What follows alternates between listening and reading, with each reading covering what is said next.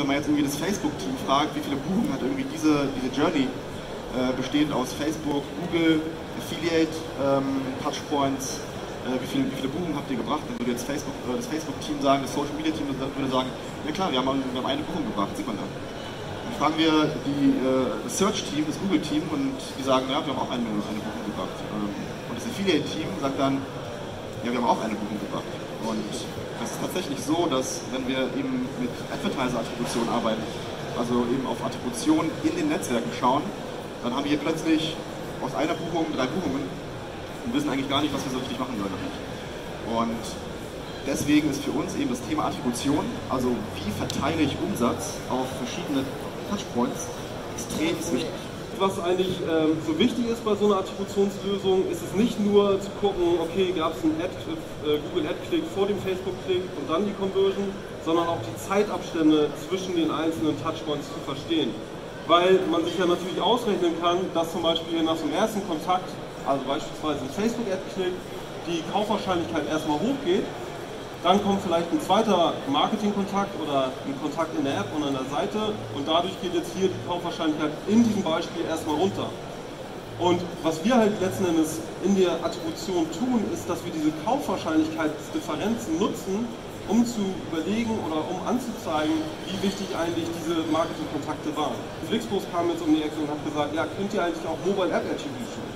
Und das ist genau das quasi dann das nächste Thema. Da waren wir ehrlich gesagt bis vor einem Dreivierteljahr noch ziemlich grün hinter den Ohren. Mittlerweile zählen wir wahrscheinlich mit zu den ähm, äh, wenigen Lösungen, die auch so Machine Learning Algorithmen wirklich auf Mobile App Journeys anwenden können, was wir eben auch jetzt für Flixbus machen sodass man dann eben nicht nur Web-Journeys hat und Mobile-App-Journeys, sondern im nächsten Schritt natürlich auch versuchen möchte zu gucken, sind das vielleicht die gleichen User, also Thema Cross-Device.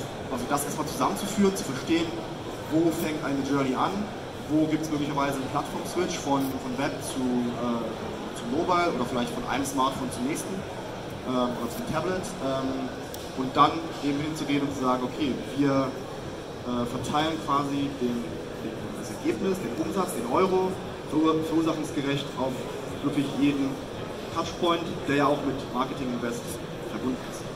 Ich glaube, wir haben es auch schon der, auf der Retail-Stage gestern gehört bei About You. Da ging es ja auch um das Thema Login-Effekte.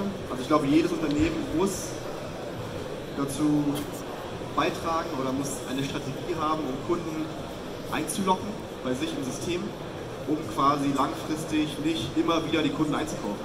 Und genau dieser Effekt, dass wir quasi in der nächsten Buchung eben auf Free Channels ähm, sonst attribuieren würden und sagen würden, es gibt eigentlich keinen Effekt äh, von Paid Channel auf die nächsten Orders, ähm, sehen wir als massiven Fehler an und deswegen haben wir auch gesagt, wir brauchen eben eine Customer Lifetime Value Attribution, also über alle Touchpoints hinweg, ohne es quasi aufzusplitten.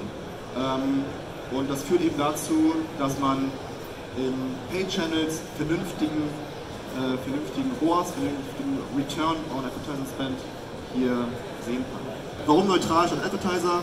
Jede Beziehung von Conversions. Ich glaube, es ist wichtig zu wissen, was geht eigentlich ab im Unternehmen. Ähm, warum MTA statt Last Click? Wir wollen die ganze Journey Cross-Device berücksichtigen. Ähm, genau, warum algorithmisch statt äh, statisch oder eben auch ähm da eben hinzugehen und Machine Learning Algorithmen einzusetzen, Customer Journeys und nicht Customer Journeys zu verstehen, welche die nur einmal bestellt haben, welche die zweimal bestellt haben oder viel mehr mal. Ähm, das alles in, in, das Machine Learning mit einfließen zu lassen und entsprechend zu analysieren. Und dann, ich glaube, das ist jetzt deutlich geworden, warum Customer Lifetime Value Attribution einfach ein mega wichtiges Thema ist für jeden E-Commercer. Ähm, CLV-Attribution am besten Machine Learning unterstützen. Die wichtigste Slide.